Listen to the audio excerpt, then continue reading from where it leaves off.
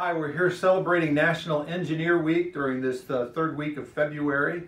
And I wanted to just take a quick minute to say thank you to the engineering community at Caterpillar. You know, we uh, came out with our purpose statement last fall. Our solutions help our customers build a better world.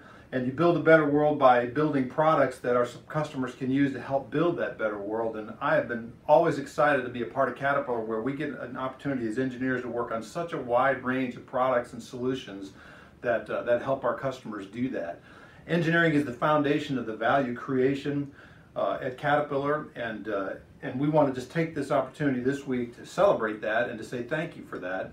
You may not be aware that National Engineers Week was started in 1951 and it was started to align with George Washington's actual birthday, which is February 22nd. And the reason for that was to honor him as uh, sort of the nation's first engineer for the survey work that he did when our country was new. So take the opportunity to thank an engineer this week.